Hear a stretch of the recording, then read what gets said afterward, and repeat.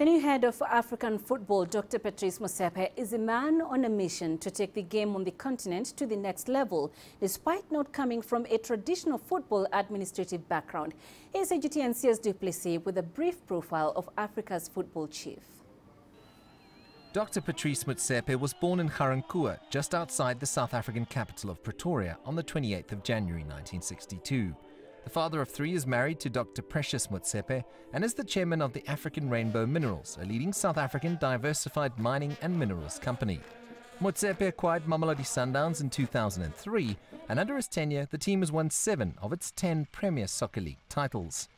In 2008, he was ranked in the influential Forbes list as a billionaire, but in seeking and becoming CAF president, his passion for football is there for all to see. He's a wealthy man, as everybody knows. Um, I think also individually, uh, he's an organized person. Uh, he's a passionate. He loves football. Uh, I think that job, uh, you know, despite all the other things, you need somebody uh, who's passionate about the game. The man who has donated large sums of his personal wealth to charitable causes through the Giving Pledge initiative also owns 37% in the Blue Bulls Rugby Company and watches the team whenever he gets a chance. Dr. Motsepe's charisma has seen him become a popular public figure in business and sport we understand that in order for the dressing room to be better, to get better results, you must strengthen your relationship with the boardroom.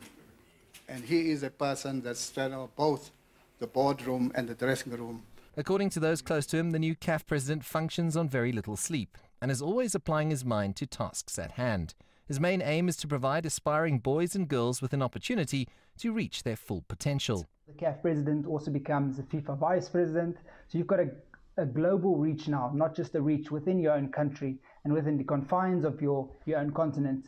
So I think that's that's his motivation. He's trying to make a huge impact on the game. Motsepe will relish the challenge of taking African football in a new direction at a time when level heads are required and a man of action is desired to uplift, motivate, and invigorate Africa's beautiful game.